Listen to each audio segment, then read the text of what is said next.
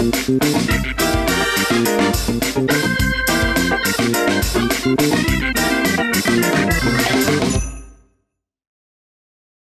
chào các cô mợ, những món canh mùa hè luôn là những cái món hấp dẫn mà chúng ta rất là yêu thích. Và canh mùa hè ấy là những cái món mà rất là đặc trưng.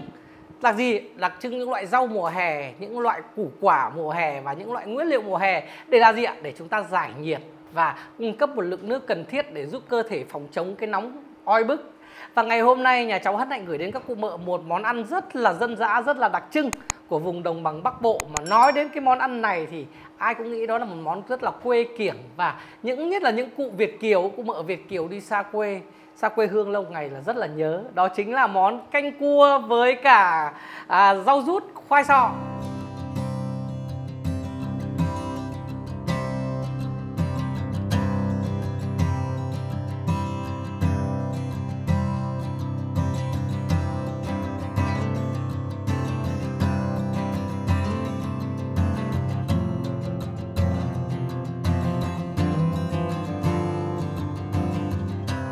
Mà ơi Đây canh cua thì phải có cua đồng. Và ngày hôm nay nhà cháu chỉ mua có 3 lạng cua đồng với cụ mợ nhá. Tại sao mua ít? Vì giá nó rất là đắt. Cua đồng mùa hè lên đến 160, 170 một cân rồi các cụ mợ ạ. Nên nhà cháu mua 3 lạng thôi. 3 lạng cua này thôi để cho làm đúng một bát thôi. Hôm nay tiết kiệm. Đấy. Và khoai sọ. À đây nhà cháu mua khoai sọ. Khoai sọ đây nhà cháu mua một cân về rửa sạch. À có nhiều cụ mợ bảo là Anh Hải ơi thì không cần phải gọt gọt cho nó ấy ra và luộc lên sau đó bóc vỏ xong xào cũng được. Vâng nhà cháu hôm nay bắt chước các cụ mợ sẽ luộc khai sọ lên xong bắt đầu là sẽ bóc vỏ xong là tí nữa xào. Và canh cua ấy sau khi mà nhà cháu làm cua sạch nhé như là cháu nói lại với các cụ mợ cua mua về ấy, các cụ mợ cho vào trong cái thau nước xong cụ mợ đổ nước gập vào cho cháu xong dùng cái đũa ấy, khoắng khoắng đi khoắng lại. Khoảng độ 5 7 nước cho nó hết cái bùn đất ấy, xong các cụ mợ làm sạch bỏ mà yếm này bỏ mai đi cho nhà cháu và khêu cái gạch nó ra như thế này. Đấy. Và rau rút là một mớ nhà cháu đi chợ và thấy rau rút ngon quá, nên là mua luôn rau rút hay còn gọi là rau nhút, người Việt Nam ấy, nó là một loại rau thủy sinh và chỉ mùa hè mới có và cái cái rau này nó, cái lá thì nó gần như lá xấu hổ hay là lá me ấy. cái cây xấu hổ các cụ mợ biết không hay có nơi gọi là cây trinh nữ ấy. cái lá nó như vậy nhưng mà nó lại à, mỏng hơn và nó mềm hơn chứ nó không như dày như lá cây xấu hổ và nó không không không cụp được như lá cây xấu hổ đấy. Và cái thân của nó thì nó mọc lan trên mặt nước vì nó là cây thủy sinh mà. Nó mọc lan trên mặt nước và nó có những cái xốp xốp màu trắng nó bao quanh thân. Thế nhưng mà cái cây rau nhút hay là cây rau rút này ở miền Nam thì có quanh năm tại vì khí hậu nó là nhiệt à, khí hậu nó nóng. Còn ngoài Bắc là chỉ có vào mùa hè. Và cái rau rút này nó chỉ có nhiều nhất vào từ tháng à, từ tháng 5 tháng 6 tháng 7 3 tháng thôi là hết hết mùa các cụ mợ nhá. Và cái rau rút này ấy, chúng ta chỉ ăn được phần ngọn non thôi còn cái phần già không nhai được các cụ mợ. Nên là các cụ mợ chỉ lấy cho cháu cái phần ngọn này là một này và khoảng độ một hai đốt tay phía dưới thôi phía thân phía dưới thôi. Chứ các cụ mợ không lấy nhiều vì nó sẽ ra rất là già. Đấy nên là các cụ mợ sau khi mà và chúng ta sẽ chỉ cần bóp như này nhá mà nó non như này tức là non là ăn được chứ còn nếu mà chúng ta bẻ như này mà mà mà chúng ta mà mà mà nó dai, nó không nó không gãy ra được như này thì tức là già. Tại sao cái lớp vỏ này nó già thì chúng ta sẽ không bẻ gãy được? Đấy. Thế nên là chúng ta chỉ lấy một, hai lớp thôi. Vào đây đây một mớ rau muống à một một mớ rau rút đấy các cụ mợ nhá. Nhà cháu mua ở chợ hàng bè 20 nghìn. Đấy, đắt lắm đấy. Và chính vì cái món này yêu cầu là thì nó mới đúng chất quê kiểng. Còn cụ mợ nào mà bị đau xương, đau khớp ấy không ăn được rau rút ấy thì các cụ mợ thay rau muống vào cho cháu cũng được, nhưng mà thật ra rau rút nó có một cái mùi rất đặc trưng, cái mùi thơm rất đặc trưng và nó khác hẳn rau muống. Mà cho rau muống vào thì mất hẳn một phần thi vị của món canh cua với cả khoai sọ này rồi. Thế nên là vẫn phải rau rút là vì như vậy. À đây, nhà cháu ở cái món này, nhà cháu sẽ trưng gạch cua nhé. Nhà cháu sẽ cần có 20 gram hành khô thôi. Thái lát mỏng ra để tí nữa trưng với gạch cua cho nó thơm. Vì có một cái cua mà nhà cháu nấu dân dã với các cụ mợ ấy, là cái canh cua với rau láo nháo, nhà cháu không trưng gạch cua mà đổ thẳng vào nồi thật ra theo cái khi mà nhà cháu cảm quan ăn với cả ekip ý, thì mọi người vẫn bảo là trưng ngon hơn anh Hải ạ. Thế nên là ngày hôm nay làm lại làm trưng không để gạch cua thẳng vào đấy nữa. Và cần có một chút mùi tàu nhá cô mợ nào không cho vào cũng được không sao đâu. Nhưng mà có một chút mùi tàu thì cái bát canh của chúng ta nó sẽ thơm hơn. Cái rau mùi tàu ở trong nam hay còn gọi là ngò gai đấy thì rất là thơm. Cho vào một chút để cho nó thơm khoảng độ nửa mớ thôi vì quay nhanh chóng mua nhiều nhiều lên một tí để đấy. Và đấy chỉ các cái gia vị thông thường thì nó phải có một chút muối hạt nhé để chúng ta giã cua. Muối tinh để chúng ta sẽ cho cùng vào nồi này à, nấu cua. Nếu có muối hạt rồi thì thôi không cần muối tinh nữa. Và chúng ta sẽ cần có một chút nước mắm này một chút hạt nêm một chút mì chính. Đấy thế thôi. Các cụ mợ à, không ăn hạt nêm mì chính thì chúng ta chỉ dùng nước mắm và muối không thôi nhé các cụ mợ nhé. Đấy nguyên liệu là như vậy và bây giờ các cụ mợ cùng nhà cháu chế biến các cụ mợ nhé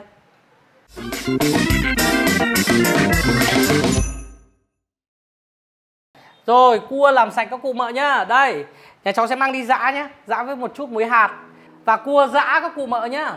Cháu lưu ý làm cua này nhà cháu không bao giờ xay mà toàn giã trong cối đá này. Tiếp đó là khi mà giã nhuyễn xong rồi nhà cháu lọc không bao giờ qua dây lọc các cụ mợ nhá. Một cái nhà cháu lưu ý với các cụ mợ khán giả của kênh cùng cháu vào bếp ý là lọc cua không qua dây lọc. Vì làm sao?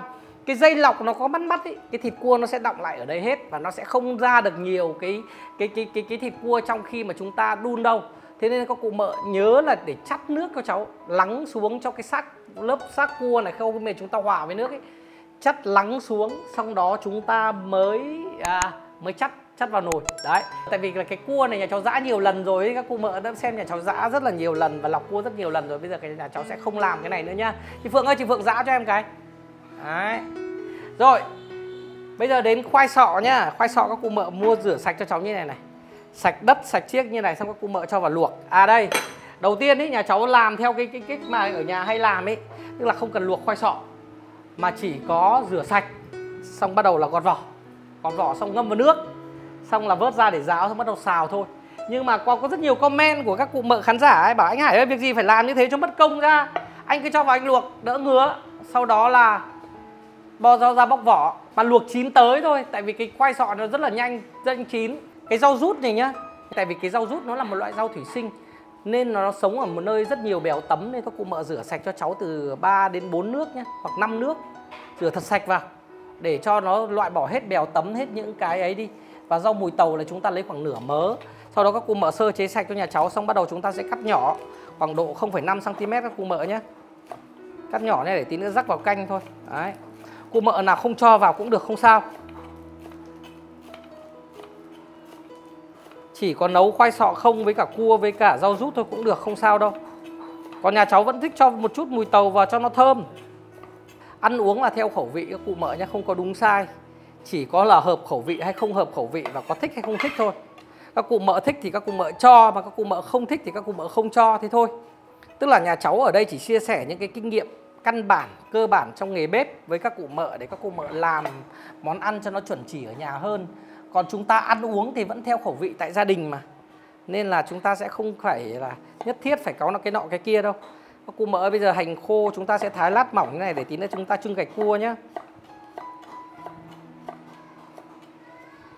có nhiều rất nhiều khán giả comment gọi điện à, nhắn tin trên à, comment trên kênh trên kênh YouTube ý, đều bảo là anh Hải ơi, thế em không có cái nọ, em thay cái kia được không? Hoặc là em cho thêm cái món ăn này, em cho thêm cái này hay cái kia được không?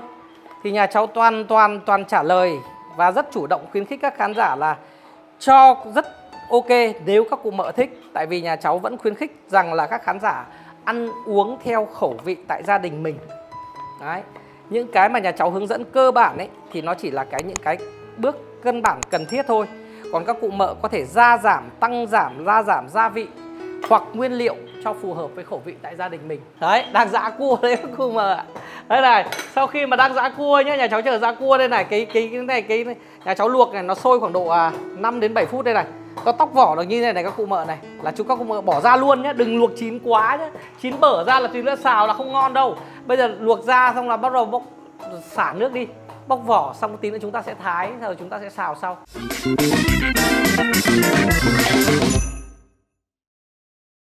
rồi các cụ mợ ơi cua nhé. Chị Phượng chị đã ấy cho nhà cháu rồi đây này.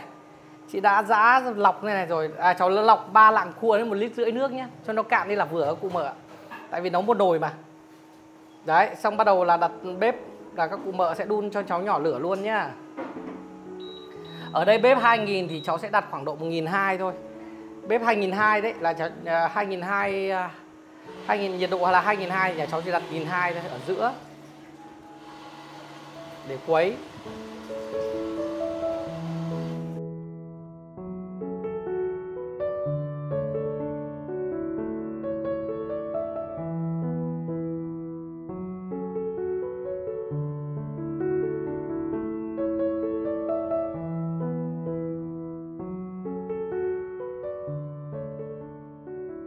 Rồi các cụ mợ ơi, đây nhá. Cháu quấy cho đến khi mà cua bắt đầu thịt cua nó tách ra khỏi nước này nó vẩn vẩn lên như này là chúng ta sẽ không quấy nữa nhá. Và tăng nhiệt độ lên cho các cụ mợ nhé thỉnh thoảng quấy thôi. Thỉnh thoảng cho vào đây quấy nhẹ tay một tí này thôi để cho đảm bảo là nó không cua của chúng ta nó không bị à, nằm dính xuống đáy để nó bị khê ấy. đấy nên là bây giờ các cụ mợ tăng lượng như cho cháu nhá. Đây quấy đến lúc như này này. Là bắt đầu thỉnh thoảng quấy thôi không phải quấy nhiều nữa. Rồi các cụ mợ ơi cái nhá, canh cua nhà cháu sôi rồi này. Bây giờ nhá nhà cháu sẽ vớt ra luôn nhá các cụ mợ nhá. Vớt cái thịt cua này ra luôn này có người gọi là gạch, nhưng mà cháu nghĩ rằng là cái này gọi gạch thì hơi sai. Vì gạch thì nó chính là cái phần mà mình ấy từ từ từ cái mai cua mà ra ấy, đấy. Đây là các cụ mở ba lạng cua này, được nhiều phết đấy chứ, không phải ít gì đâu. Ừ. rồi, bây giờ chúng ta sẽ để đây nhá, và bây giờ chúng ta sẽ nêm nước. À có một cái là nhà cháu đầu đầu tiên là định xào khoai sọ, nhưng mà cái canh này là mùa hè mà ăn thanh mát nên nhà cháu nghĩ là không cần phải xào đâu, để cho nó bị nhiều váng dầu quá chúng ta chỉ trưng gạch cua thôi. Còn cái khoai sọ thả thẳng vào đây luôn các cô mở nêm gia vị không thả thẳng vào đây để cho nó ngấm gia vị và cho nó mềm luôn. Tại vì cái khoai sọ của chúng ta đã chín rồi đây này, bóc vỏ được ra như này rồi, bây giờ chỉ củ nhỏ để nguyên, củ to, cắt đôi, cắt ba không cho vào đây thôi. Nhưng phải nêm gia vị trước ạ. Đây, cháu thử một tí nước cua, vì trong cái nước này nó đã có muối hạt rồi các cô mợ nhá. Ừ nó đã lên vị rồi đấy, nó lên vị mặn mặn rồi đấy. Rồi các cụ mợ ơi, đây nhá. Ở chỗ này ba lạng cua với một lít rưỡi nước.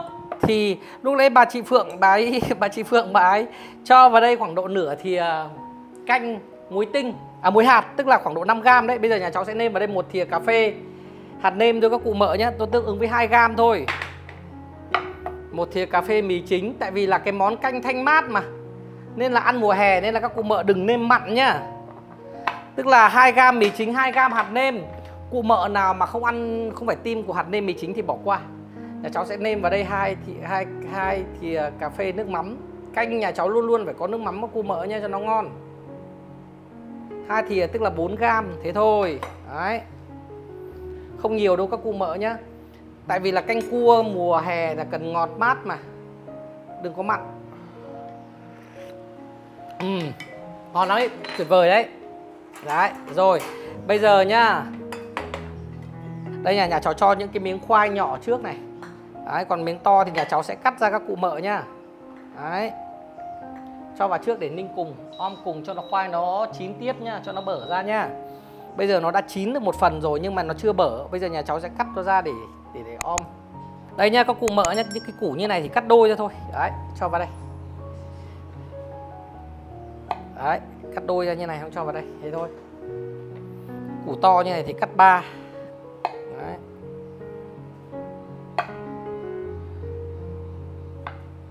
Đấy. khoai sọ này đầu mùa nó rất là nhanh chín các cụ mợ nhá. Thế nên là các cụ mợ, đừng có luộc các cụ mợ mà luộc mà nó chín ngay ở trong nồi ấy. Mà ra bây ra bóc vỏ thì lúc mà cho vào canh này nó rất dễ bị nát. Nên các cụ mợ chỉ luộc cho cháu là sống ở bên trong và chín ở bên ngoài để dễ bóc vỏ thôi. Đấy. Xong bắt đầu ta thả vào nồi canh, ta còn ninh tiếp để cho nó ngấm gia vị. Đấy. Bây giờ nhà cháu sẽ trưng gạch cua các cụ mợ nhá. Đây, nhà cháu sẽ cho một thìa dầu ăn vào đây, các cụ mợ nào có mỡ lợn ấy thì tốt. Đấy, một thìa canh dầu ăn thôi các cụ mợ nhá. Vừa vừa dầu thôi. Đấy. Xong rồi các cụ mợ cho cháu cái hành khô vào đây nhá. Phi thơm nó lên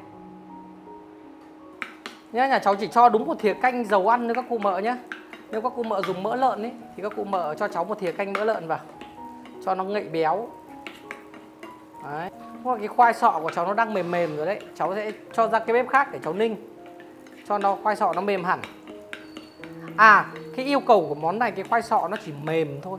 Mềm bở, nhưng không được nát. Nát ra canh là thành ra cháo rồi. Thì lại thành ra là là cái nồi canh bị hỏng rồi các cụ mợ ơi, khi mà thành của cháu vàng như này rồi nhá. Cháu đổ gạch cua vào trưng luôn nhá. Đấy. Cái này các cụ mợ đừng trưng to lửa quá nhá. Rồi, thế này thôi. Bây giờ cho ra luôn. Đấy, để đây. Rồi các cụ mợ ở đây nhá. Cái bát này, Cái bát bằng gạch cua trưng ấy. Cái cua sống ấy. Đấy, nhà cháu cho vào đây. Đỡ phí. Chắt nhá. Đây, tiếp nữa. Cái này nhà cháu cũng không đổ trên trên bát gạch cua đâu, Mà cho vào đây, Cho đây cho nó thơm luôn. Đấy, tráng chảo luôn các cụ mở. Đấy. Ừ. À có nhiều khán giả rất buồn cười. Bảo anh Hải ơi, đấy nha anh tráng chảo y như mẹ em, xong là em xem em xem, xong em mới bảo, chị em nhà em ngồi xem mới bảo, đấy, mẹ Hải đấy. Buồn cười lắm các cụ vợ nhiều khán giả comment buồn cười lắm. Đấy cho vào tráng ở đây nhé các cụ mợ nhá. Đây cho vào tráng ở đây này. Thơm rồi. Thơm thơm rồi đấy. Đây bây giờ các cụ mợ cho rau rút nhá. Rau rút nó rất là nhanh chín nên các cụ mợ cho vào cho vào nhà, nhà cho nhà cháu xong nó sôi lại cái là chúng ta vớt ra luôn nhá. Đấy. Tí nữa cái cua này sẽ cho lên trên bát cho nó đẹp. Cho vào luôn nồi ăn ở nhà thì cho vào luôn nồi cũng được. Nhưng mà nhà cháu thì bày lên trên à, bát để các cụ mợ kể hầu các cụ mợ xem mà nên là chúng ta sẽ phải cho vào sau đấy. Rau rút là một loại rau rất nhanh chín thì các cụ mợ chỉ cho vào cho nhà cháu khi mà khoai mềm này. Và nó sôi cái là các cụ mợ vớt ra luôn thôi nhá. Uhm, thơm thơm. Thơm mùi rau thơm mùi cua này mùi rau rút. Tự nhiên lại nhớ đến cái món bánh đa cua các cụ mợ ạ. Rau rút rồi lại nhớ đến món bánh đa cua. Đấy bác ra bắt đầu là múc canh ra bát các cụ mợ nhá. Đấy chỉ sôi như vậy thôi rồi các cụ mợ ơi nhà cháu sẽ vớt uh, canh ra bát nhá. Cho ít dầu rút cuộn cuộn xuống trước này. Thơm lắm các cụ mợ. À như nhà cháu nói ban đầu nhá cụ mợ nào mà bị xương khớp thì thôi nhá.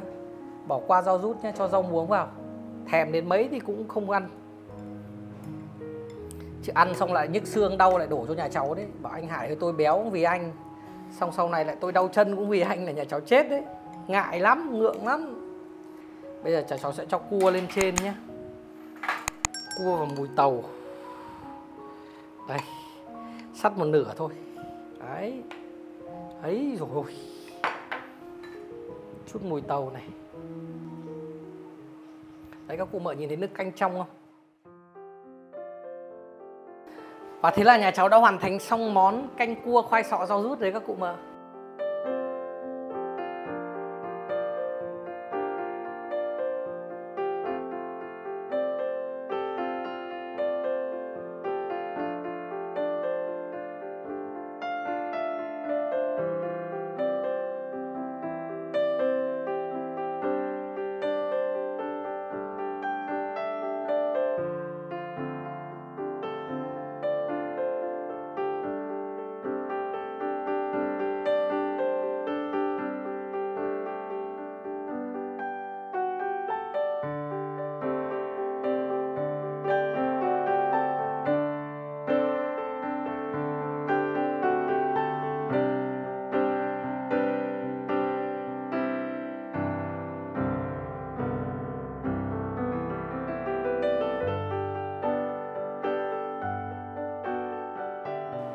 Rồi các cụ mà ơi, đã hoàn thành xong món ăn rồi để nhà cháu lại ăn tiếp nhá. Vừa sẽ thử một miếng khoai sọ thôi nhưng mà ngon quá nên là nhà cháu sẽ lại đòi thử tiếp. Để các cụ nhà cháu ấy ăn để các cụ mợ xem nhá. Ừ, nó rút giòn lắm nhá. Đấy, cho chín tới rất là giòn. Giòn lắm các cụ mợ. Đấy, giòn lắm, nước. Ừ, trong ngọt, thơm. Khoai sọ. Bở lắm. Nhưng lại không nát nữa. Bở tiến tới nó không nát.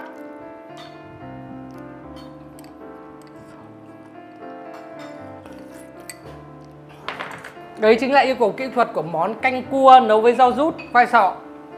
Mà các cụ nấu ở nhà nó phải đạt như vậy. Thứ nhất là nước canh trong, thơm đặc trưng của cua. Và cái vị thì ngọt mát, khoai sọ thì chín tới, không bở nhưng lại không bị nát rau rút giòn giữ được màu xanh tự nhiên và hòa quyện tổng thể giữa khoai sọ và rau rút và cua tạo nên một món canh mà vừa dân dã vừa hấp dẫn. Mà đây lại còn là một món canh giải nhiệt trong mùa hè nóng bức thì các cụ mợ còn chần chờ gì nữa mà không làm ở gia đình. Với một cái món canh này vừa dân dã mà vừa ngon miệng lắm và cháu chắc chắn rằng những cụ mợ mà xa quê ấy, nhớ lắm nhớ những cái hương vị thân thương của quê nhà à, rau đay mùng tơi hoặc là rau rút với khoai sọ là những cái thức ăn rất phổ biến của vùng đồng bằng Bắc Bộ với một món canh rất hấp dẫn như này thì nhà cháu hy vọng các cụ mợ sẽ thích. Và các cụ mợ giúp nhà cháu nữa là chia sẻ cái kênh cùng cháu vào bếp cho nhiều người biết đến.